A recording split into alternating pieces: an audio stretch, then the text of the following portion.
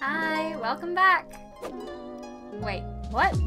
Hi, I'm not Simon Clark. You might recognise me from places such as not being the author of Firmament, the hidden science of weather, climate change, and the air that surrounds us, or oh, is that Katie Steckles? Nah, but they both do maths, have very funky hair, and very similar names. I'm Kat, a maths PhD at the University of Bath studying fluid dynamics. Pun accidental. I also stream on Twitch in my spare time, doing maths communication and sharing my experience of being a PhD student. I often go on tangents on stream about topics that I'm passionate about, and just like everyone else, those opinions can be completely baseless, done mostly on vibes, and very difficult to change my mind about. Obviously, I'm going to share some of those opinions with you now. Specifically, I'm going to talk about my field of research. If Simon can rank clouds, I can definitely rank fluid dynamics. Fluid dynamics is the study of flows of fluid, meaning liquids or gases, under forces or stresses which can cause them to move. The behaviour of the fluids can vary due to a wild variety of factors. How viscous the fluid is, meaning how much it sticks to itself, how dense the fluid is, what type of fluid is it, are there multiple fluids interacting with each other, or is there a boundary around that acting on the system? Even just what extra forces are there, like gravity. When all these different factors combine in different ways, the fluids can behave wildly differently.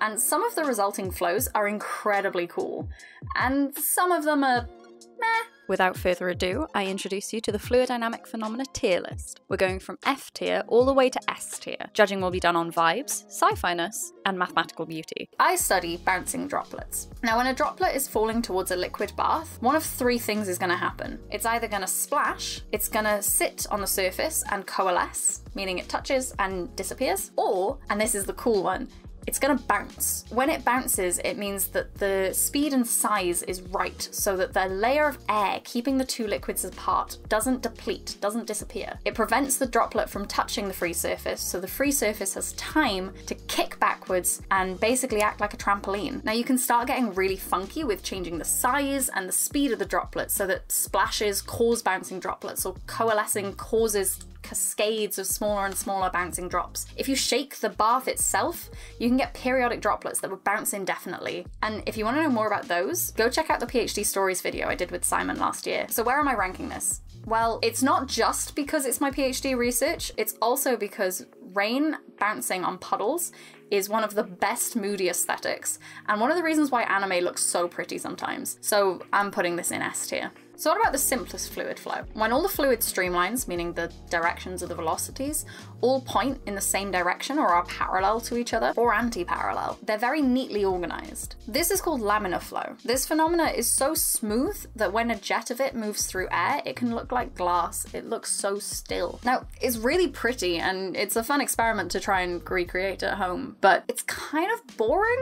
But without it, us mathematicians would be screwed. We oftentimes use laminar flow assumptions for systems to be easier when we consider them. Without it, we'd have to look at every single particle and how that moves in the fluid, and that's just way too much. A good phenomena to have, but it's pretty meh, so C tier. What about that messy non-laminar stuff? Turbulence is perhaps a more accurate model of what happens all around us. Streamlines interact and the movements become chaotic and unpredictable. This can look really pretty. However, the mathematician in me is screaming because turbulence is often where a lot of our current models will break down. You really need heavy machinery like either scientific computations or experiments to understand turbulent flow. And all of my assumptions especially completely stop working. So turbulence can get in the bin. F tier.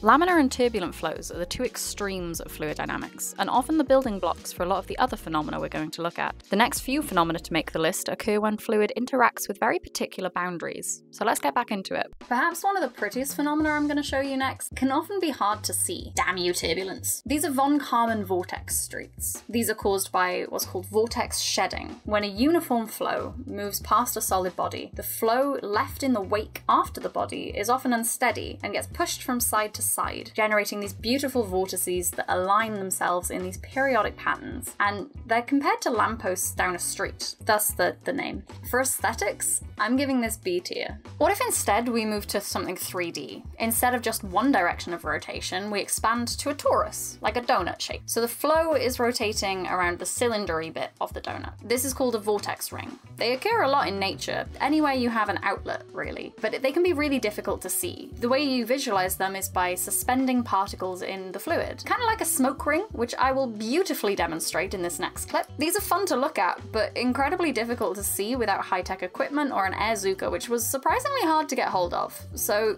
this is getting E tier. Moving away from vortices and turbulence, imagine a very, very laminar flow. A flow that is so neatly layered that each layer lies on top of one another, nearly touching, so that they can move one way and the other without interacting that heavily. For certain fluids, the flow is actually able to be undone. This is best demonstrated in a Taylor-Couette flow, which is a cylinder moving inside of a static cylinder with fluid contained between the two. If we rewind and move back exactly the way we moved it, you get each point back exactly to its original starting position, which just doesn't happen with most flows. You can't unpour a glass of water. Now this definitely feels like it breaks physics, but it's incredibly slow and a very scary experiment to do in real life. So I'm gonna give this a C tier. Up next, we have what I'm calling complex fluids. And don't worry, these aren't using imaginary numbers. Complex fluids have inherent properties to the fluid structure that makes them behave quite strangely. Now we start getting into the sci fi stuff. This next one is perhaps one of the most demonstrated phenomena in fluid dynamics, and all you need is cornstarch and water. When cornstarch is fully suspended in the water, the new fluid has a rather interesting property. When left alone, it looks like any other liquid, and if I pour it gently, it will move. But when a large force force is applied, something strange happens. Under force, the fluid becomes solid-like. To put it in proper terms, the viscosity is now dependent on the forces applied to the fluid. And when the viscosity depends on the force in this way, it's called a non-Newtonian fluid.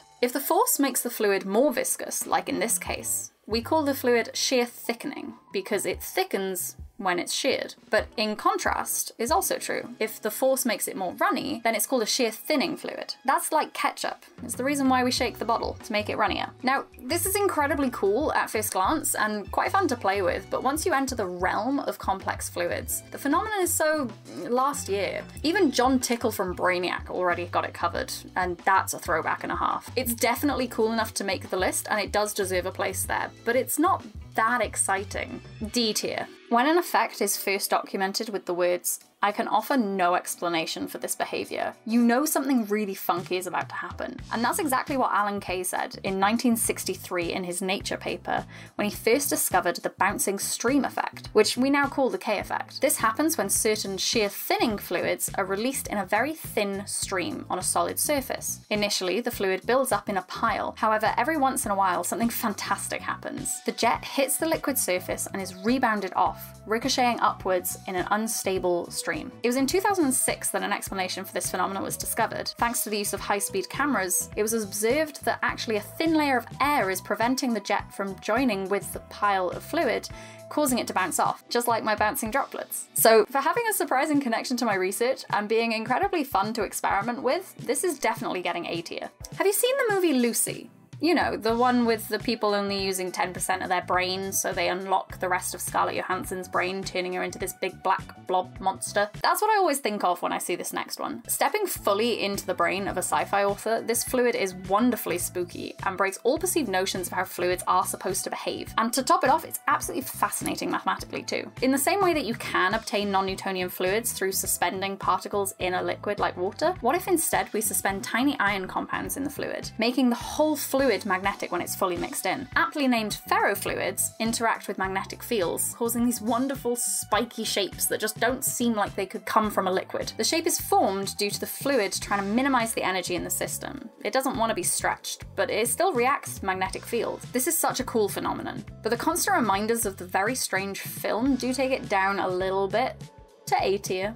Imagine a train with a whistle, one of those old steam powered ones. When the whistle blows and it's sat in the station, the sound waves travel out at 330 meters per second in all directions, generating a sound wave. Once the train starts moving and the whistle blows, the source of the sound wave is also moving along with the train. The train, since it's old and inefficient and slowly destroying the planet, knew I'd get some climate science in there for you, Simon, it isn't moving faster than the sound it produces. So you end up with this bunching of sound waves in front of the train and a lag behind. But what if we go faster? If instead we were able to go faster than the speed of sound, then suddenly the source of the sound is in front of the wave that it just generated. This causes a sonic boom, which not only causes an enormous amount of energy, but it sounds like thunder.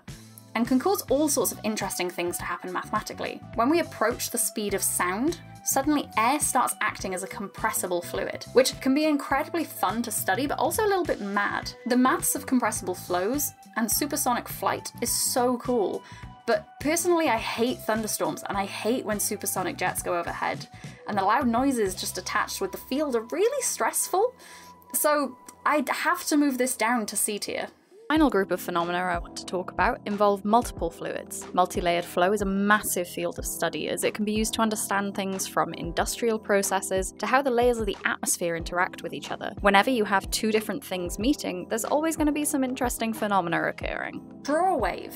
Did it look something like this? While it might look like a stylized version of what we see on the ocean, it's actually not that far away from reality. These types of waves are generated by what's called a Kelvin-Helmholtz instability, and it doesn't just happen on the sea, it can happen in clouds or in any two-fluid problem, and yes, there are two fluids in the ocean, the air does count. It happens when you have a system where there's a lighter fluid moving in one direction directly on top of a denser fluid. In this case, the air is moving across the ocean. The surface between between them is free to move, and it curls up in this wave pattern. It's one of my favourite phenomena to look at, because it's what we draw when we're a kid, and suddenly that's a real thing in maths that is so fascinating. This one gets B tier. Take the previous system, a lighter fluid on top of a denser fluid and flip it on its head. You now have a denser fluid sat on top of a lighter fluid, and it's no longer stable due to gravity. So the denser fluid is going to want to move downwards through the lighter fluid, but it can't move all at once. So instead, these plume-like shapes form. Personally, I think they look like squids, but the resulting interface is absolutely gorgeous. In certain experiments and under certain conditions, you can see these fingers reaching downwards. However, the motion quickly becomes very, very complicated and turbulent. D tier. The astute of you will notice that this next phenomenon is actually a very specific type that I've already shown you. Why does it get its own category? Why does it get its own ranking if the other one is more general? The answer to which is it's my video and I can do what I want. But also, this one looks cooler. I just think it's neat. So take a vortex ring and put it underwater. Now you have air moving in a spiral pattern in a torus under the water, and you get a ring bubble. And that's exactly what I mean it to be. It's a bubble that's in the shape of a ring. The bubble is very unstable, but the faster it spins, the more stable it becomes. The slower it moves, the less stable, eventually breaking out into typical bubbles that you see. Shout out to the Plateau Rayleigh instability for that one, just really quickly D tier because it breaks my fun bubbles. Arguably, a ring bubble and a vortex ring are the same thing, just with different fluids, but this one is so much cooler to look at, and there are loads of really fun videos of divers, beluga whales, and dolphins making them underwater. So this bumps it up slightly to C tier. So yeah, that's the list. There were loads of phenomena that I had to cut out. But if you want to hear me talking more about fluid dynamics, maths, or anything in general, come see me over on Twitch at KatDoesMaths. If you want to let me know exactly why and how I'm wrong with my rankings, though, you can leave them in, in the comments down below for Simon to deal with. That's it from me. I'll see you in the next one, or not.